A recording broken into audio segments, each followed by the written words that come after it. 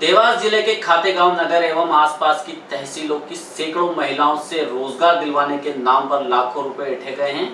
शुक्रवार को खातेगांव की नर्मदा कॉलोनी एवं आसपास की महिलाएँ उक्त व्यक्ति की शिकायत लेकर थाने पहुँची। आपको बता दें कि सैकड़ों गाँवों की महिलाओं से समूह बनाकर ये ठगी की गई है। देखिए सुमायरा न्यूज़ की एक खास रिपोर्ट।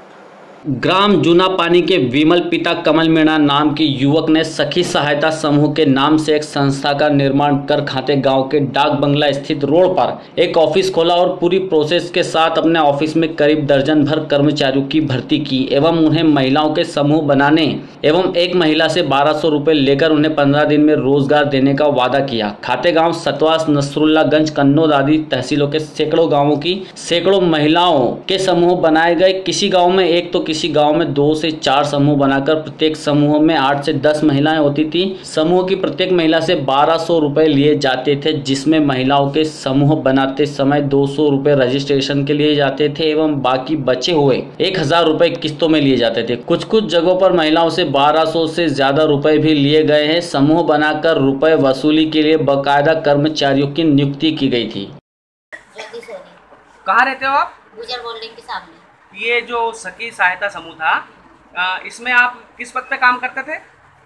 सिलाई सिखाने का काम करते थे। अब कितने रुपए वेतन में आपको रखा था? छः हज़ार रुपये महीने। कितने महीने का पेमेंट आपका लेना है? तीन महीने का। और इसके अलावा आपने अतिरिक्त पैसा जमा कराए थे क्या समूह में? हाँ कराए थे। पाँच हज़ार रुपये सर को किसी को देना था वो दिए। और दस हज़ार रुपये जो माल लेके आए थे सिलाई का उसमें दिए। तो आपको पैसे वापस मिले अभी नहीं मिले? नहीं मिले।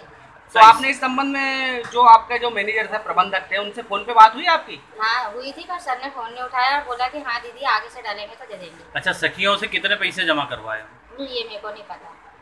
वही कोई रसीद वगैरह जो बना महिलाओं को दिखाए गए रोज़गार देने के सपने संस्था के संचालक विमल मीणा के द्वारा महिलाओं को कई प्रकार के रोज़गार देने के सपने दिखाए गए जिसमें सिलाई हल्दी पैकिंग धनिया पैकिंग पेप्सी पैकिंग आदि सहित करीब दर्जन भर रोजगारों के बारे में बताया गया। कई महिलाओं ने की शिकायत। रुपए जमा करने के बाद भी जब काफ़ी समय तक महिलाओं को रोज़गार नहीं मिला तो महिलाओं ने रुपए वापसी के लिए संस्था संचालक पर दबाव बनाना शुरू किया, जिसके चलते उसने कुछ महिलाओं को रोज़गार उपलब्ध कराया, लेकिन अधिकांश महिलाओं को फिर भी रोज़गार नहीं मिला। नर्मदा कॉलोनी एवं श्री कृष्ण कॉलोनी खाते गाँव की महिलाएँ भी रुपए वापस लेने के लिए कई दिनों तक संस्था के ऑफ़िस के चक्कर काट रही थी, लेकिन ऑफ़िस अधिकतर समय बंद मिलता था।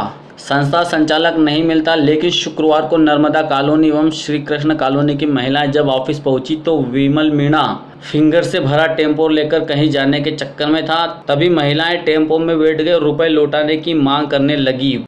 और बाकी के चौ चौ चौबीस सौ या कोई किसी से चौंतीस सौ रुपये ऐसा किसी से पाँच पाँच हज़ार रुपये भी इनने ले रखा है। हाँ ले रखे भर दो तो तुम्हारा हाँ। बोल तो आपसे आपसे क्या बोला रोज़गार कैसे देगा मतलब? ऐसा बोला तो मैंने बोला पैसा इकट्ठा दे दो दो दो सौ रुपया रोज़गार कैसा देगा ये? ये क्या सरकारी हाँ, नौकरी देगा क्या हाँ करेगा? हाँ सरकारी नहीं जैसा पैकिंग करना पैकिंग करना। दाल ये ऐसा पैकिंग करना घर बैठे। तुम्हारा के घर बैठे मशीन ला के देंगे घर बैठे तुम्हारा सिखाना आएगा। अच्छा दस चक्कर का अपना घर बोल और एक चक्कर में पैसा नहीं कौन दिया? आया था आपके कौन आता ये भैया आया था और के सारा ऊपर दवा नाम है मैडम? मैडम का नाम क्या नाम परमिला मैडम है। अच्छा। सर का नाम? सर का नाम ये सर का हाँ नाम क्या है? वो तो पकड़ लिया वो कोई वो ये गया था सर? हाँ। और हमने एक चक्कर पैसा नहीं दिया सर भैया। भैया दस चक्कर गया। जब हमने पैसा दिया एक चक्कर हमने पैसा नहीं देंगे बात में नहीं नाम लिखवा ना। तो आज आप यहाँ क्या लेने आए? हम पैसा लेना आए। तो ये कितने दिन बाद मिल रहा है आपको यहाँ पे? नहीं ये ये तो बहुत दिन से ताला लगा हुआ था ना जब आज छह महीने में आज मिल रहा है ये आपसे। आज मिला मेरे पैसा ये जो आप गाड़ी में बैठे हैं ये किसकी गाड़ी है? है। वह किसी की भी हो वो किस गाड़ी है भैया की? जिसके सामान जिसने पैसा लाया ना उसी की गाड़ी है। और उसी की गाड़ी में बैठे हम।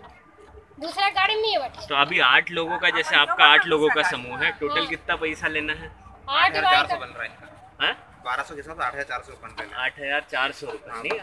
वह कुछ महिलाएँ थाने भी पहुँच गई। माहौल बिगड़ता देख संस्था संचालक विमल मीणा भी थाने पहुँच गया और महिलाओं को फिर आगे की तारीख के चेक दिए। विमल मीणा पुलिस थाने में करीब दो घंटे तक बैठा रहा। पुलिस ने महिलाओं को यह कहते हुए समझाया कि आपको चेक दिए दिए हैं। अगर तय समय पर आपके रुपए वापस नहीं मिलते तो संस्था संचालक के खिलाफ मामला दर्ज किया जाएगा। एवं संस्था संचालक विमल मीणा को महिलाओं के तुरंत रुपए लौटाने की समझाइश देकर छोड़ दिया गया।